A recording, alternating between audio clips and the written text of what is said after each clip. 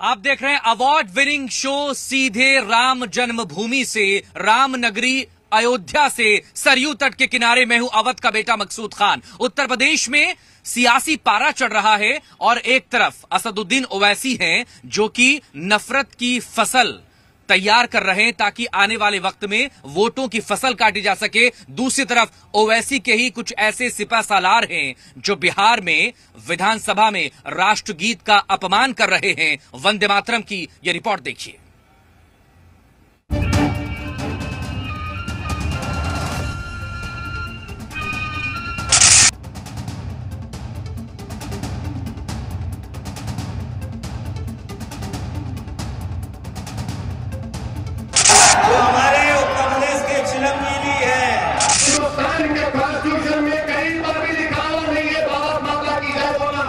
वंदे मातरम का ताल्लुक है।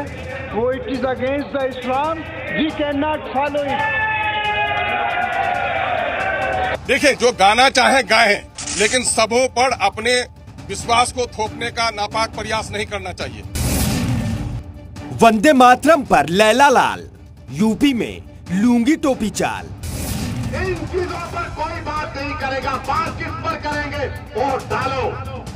राष्ट्रगीत पर क्यों ऐतराज? ओवैसी का खेल फसाद। जिस तराने को गुनगुनाकर शहीदों ने आज़ादी की जंग में हँसते हँसते कुर्बानी दी थी, जिस गीत को अस्त्र बनाकर वीर सपूतों ने वीरता की इबारत लिखी थी, आज भी सरहद पर जवान जिस नारे को पूजते हैं, जिस गीत की गूंज से दुश्मन भी कांपते हैं, उसी राष्ट्रगीत से इन्हें ऐतराज है।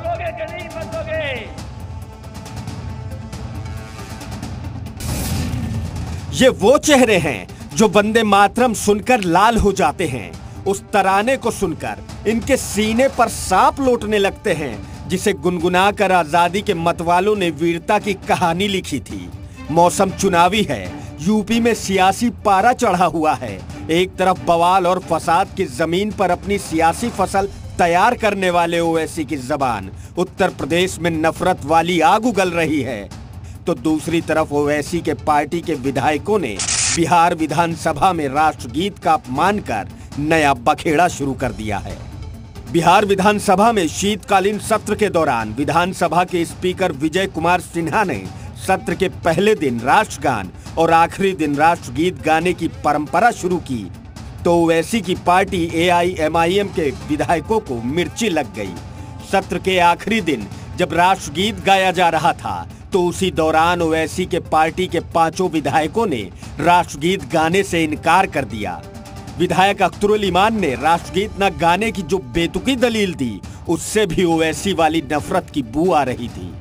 देखिए, जो गाना चाहे गाएँ, सदन मेरे हुक्म से नहीं चलता, लेकिन सबों पर अपने विश्वास को थोपने का नापाक प्रयास नहीं करना चाहिए। मैं ये कहता हूँ कि आज का सदन, आज के स्पीकर, क्या हमारे पूर्वजों से ज़्यादा ज्ञानी हो गए हैं? अख्तरुल ईमान के आका जो इन दिनों यूपी में अपनी ज़ुबान से तेजाबी बारिश कर रहे हैं, मुसलमानों को डरा कर अपनी सियासत चमका रहे हैं, उनकी तो वंदे मातरम से पुरानी जंग है।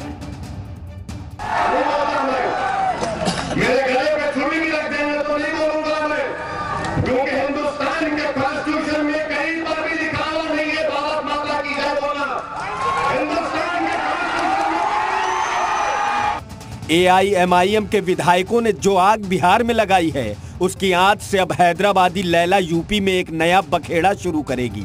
बिहार में लैला के सिपह सालारों ने राष्ट्रगीत का जो अपमान किया है उस पर करारा वार किया है। सारे लोगों ने खड़े होकर के राष्ट्रगीत गाया राष्ट्रगान गाया और उनको अगर दर्द हो रहा है तो इस दर्द की दवा राष्ट्रभक्ति है उनको हम अपनी पाठशाला में ले चलेंगे उनको पढ़ाएँगे लिखाएँगे कहाँ लेके जाइए? वही जो जहाँ की खेल के मैदान में, उसी खेल के मैदान में राष्ट्रभक्ति का गीत सिखाया जाएगा, उनको अपने आप ठीक हो जाएँगे। ऐसा नहीं है कि सिर्फ़ एआईएमआईएम वालों को ही वंदे मातरम से ऐतराज है। समाजवादी पार्टी के सांसद भी वंदे मातरम पर बवाल कर चुके हैं।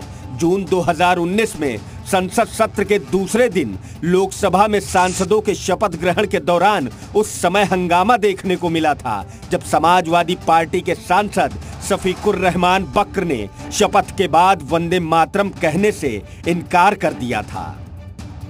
समाजवादी पार्टी के सांसद ने जब वंदे मातरम बोलने से इनकार किया तो समाजवादी पार्टी के अध्यक्ष अखिलेश यादव ने क्या कहा था आपको वो भी याद दिला देते हैं। धरती माँ मेरी है उससे बड़ा कोई नहीं है। वंदे मातरम कहने में परहेज कह रहे धरती माँ से बड़ा कौन है?